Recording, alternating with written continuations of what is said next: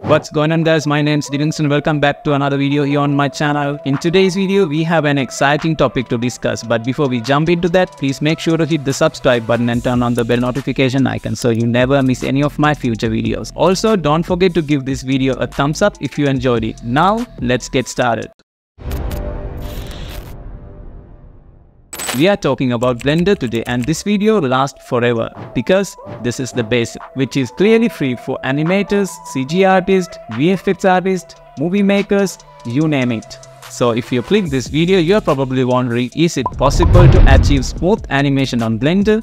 Let's talk about it. How to become a pro in Blender.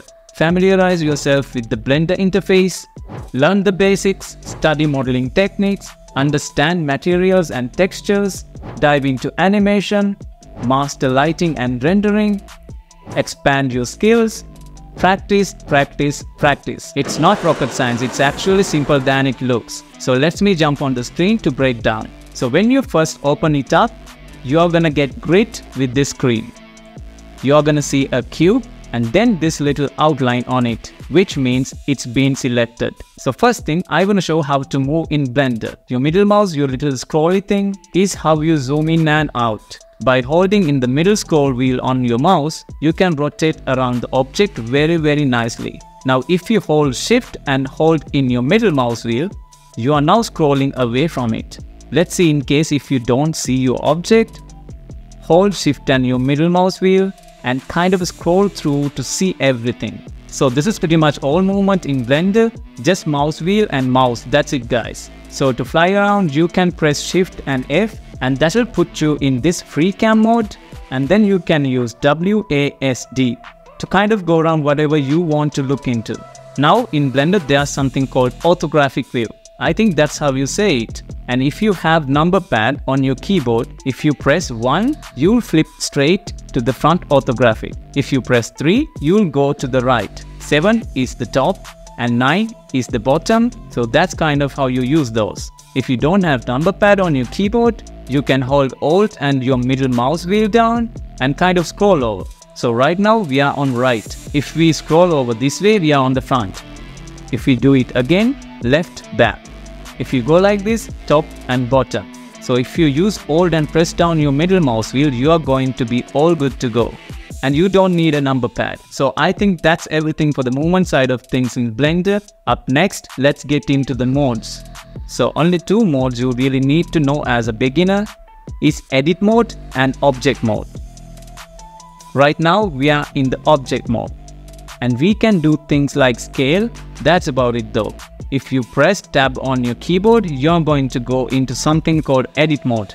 Now as you can see, all the vertices which are these points here are like bit darker and orange which means those are highlighted. You have three selection modes you can use in Blender. These vertices mode which we are on right now. Line select mode which as you can see it selects the lines or faces select mode which is probably the most used one.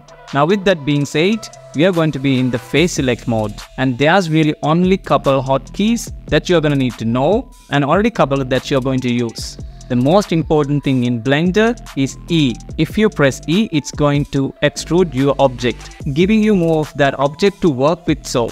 Now instead of having just one face, you can have more. And then S is the second for scale. So if you press S and then just move your mouse, you can scale. Now you can click them together as well. Press E and then S. Now we are scaling the extruded piece. So you are not scaling the normal face, you are extruded it. Alright, so those are the main two hotkeys that you can use. We have R which is rotate and it's as simple as it sounds. Now if you're looking at this like an weird angle, your rotate is going to be an weird axis but if you press on and then your direction right up here you could see Z would move it up and down. So R and then Z we are going to move on the axis. And then any axis is how you're going to rotate along with axis. So now you can press G on your keyboard. It's going to grab so you can kind of just move it whatever you want to move.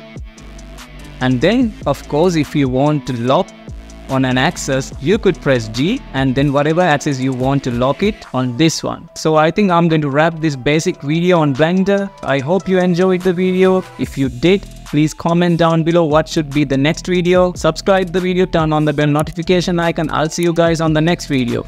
Peace.